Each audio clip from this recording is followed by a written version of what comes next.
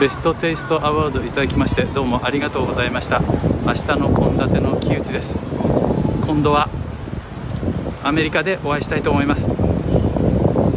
Thank you for Japanese American people.